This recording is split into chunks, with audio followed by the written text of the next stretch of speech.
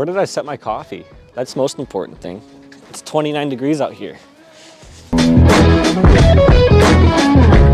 Hi, so we're out here in Merrillville, Indiana, checking out some siding. It's an old aluminum siding, probably I'm guessing back to the 50s or 60s that this is put on. Got a lot of pieces that are actually shifting out, but this is opening out for a lot of cold air and moisture to be able to seep in. Definitely don't want any electrical boxes just hanging by the wires, exposed for water to be able to leak in. We're gonna reset, get a new box set up for them.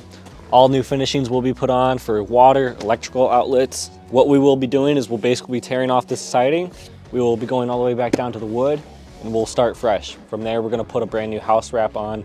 Uh, we're gonna be putting all brand new insulation on up to code, and then we will be getting the new starter and the new siding process. So when the house was painted about five, six years ago, all the attachments were left on the house and they were all painted the same color as the siding. So best thing to do, since we're already gonna be replacing this siding, is to take your touch-up paint and whatever color we're gonna be putting on, per se, we do white siding, we'll take white touch-up paint and we will begin and we will spray paint all of the old accessories that are painted while this siding is still on using this siding basically as the masking tape. So that way when we rip it off and we put the new siding back on, everything is matching and we don't have to worry about now touching up with paint while we have brand new siding on, putting paper or tape all the way around. We can do that before we even do the tear off process.